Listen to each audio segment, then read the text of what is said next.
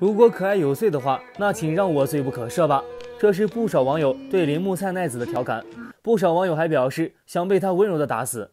二零一八年七月十四日，中国香港荣耀之路二拳击赛在香港休顿室内运动场举行。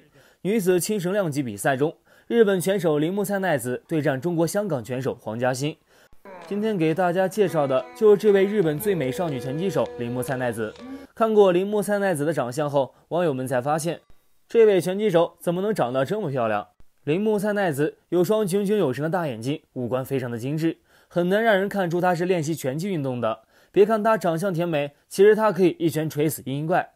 想当她男朋友的可要小心了。话不多说，让我们来看看菜奈子的力量吧。菜奈子分基础功还是蛮扎实的，逮着对手不放手，一拳头一拳头往身上招呼，力量着实不小。第二局开始了，拳击手相互逼近，企图有效击打对方得分。上局两人打得蛮激烈的，这局慢慢逼近，顺带恢复恢复体力，一有机会打就完事儿了。现在两人打得不可开交，踢打摔拿的全面技法并肩子上，拳击、掌击、腿击、肘击蜂拥而至，拳拳到肉，丝毫不留情。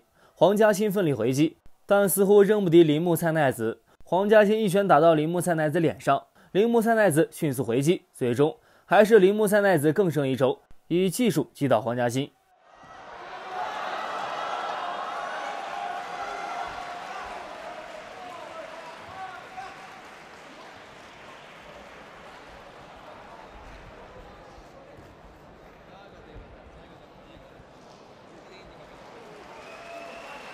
Ladies and gentlemen, the official time, 1 minute 51 seconds of the fourth round.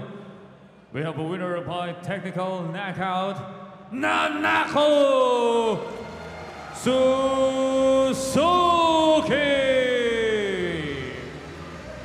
好了，本期视频就讲到这里了。喜欢的朋友欢迎点赞评论，有想了解其他比赛的，记得私信小编哦。我们下期再见。